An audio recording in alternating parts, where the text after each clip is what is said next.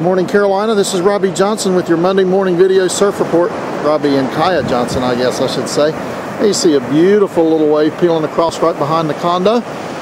This morning swells really dropped from the last few days. We've had a great run of surf here over the Christmas holiday, but the offshore winds last night have really knocked this swell down. But there still is a little leftovers. I think definitely if you if you're on a SUP or a longboard, I think you could really have some fun. Some really clean, beautiful lines. You still have offshore winds here. See this little wave right here, how pretty it is. Just a beautiful wave on a longboard, probably. A little small, I think, for your thrusters or fishes, but here you see just a beautiful little wave peeling across. Look at this left coming in here towards me.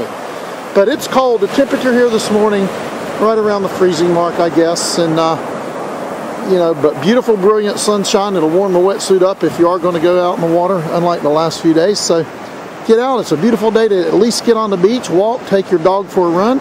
And as always, Carolina, leave our beaches cleaner than you found them. Have a great day, everyone.